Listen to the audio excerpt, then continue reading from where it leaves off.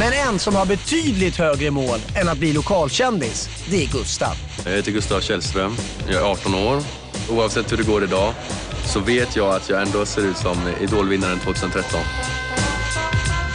Det finns många likheter mellan att vara modell och eh, artist. Några av dem kanske är att utstråla, visa upp sig liksom. Visa att här är jag. Hallå. Vad har katten dragit in här?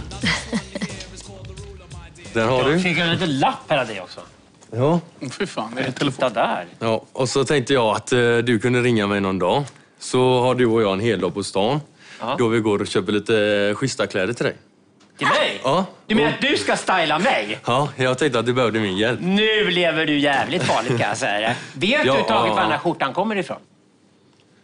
Ja, jag har en sån där från Nej, det kan, du, det kan du gott och stort fråga. Du har inte koll på mode överhuvudtaget. ska jag säga. Dressman är bra. Det får kosta vad det kostar vill när jag kör. Vad ska du sjunga för oss, vännen? Starships med Nicki Minaj. Fan vad rätt. Kör igång när jag känner dig redo. Kör. Um, starships were meant to fly Hands up and touch the sky Can't stop cause we're so high Let's do this one more time När ska du börja sjunga?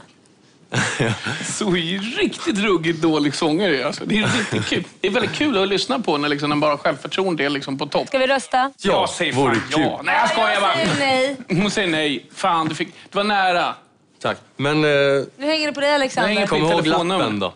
Ja. Nej. Ja. Tack Tack du för att du kom. Tack, hej. Ha det gött. Nu eh, är det hem, modella lite. Så kommer vi tillbaka nästa år. Nice try, nice try bara. Ja. Uh-huh.